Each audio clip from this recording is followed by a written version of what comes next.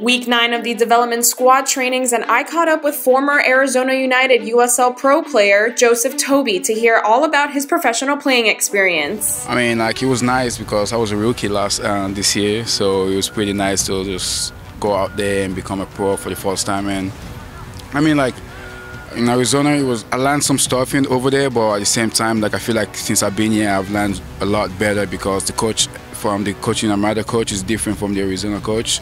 Armada, like the coach know what he's doing, and if he uh, also is like the only thing he always tell us, like when we came to practice, like always be happy. Like he can be he can play soccer being sad and. So every every morning I come here, I'm like smiling and stuff. Like I'm having fun. He's like, this is what I like. You're having fun.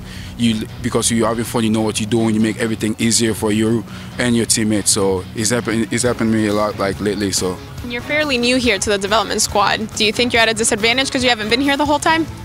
Not really. I feel like I'm more. I got more advantage because I've been playing over the summer. I'm still in shape. Some people are not in shape, and so it's just like I feel like it's easier for me, but uh, like I say, it's not an advantage at all. Like I'm getting, I'm learning every day from right, the coach. Toby, as a left back, what does coach expect from you guys? Um, a lot of running.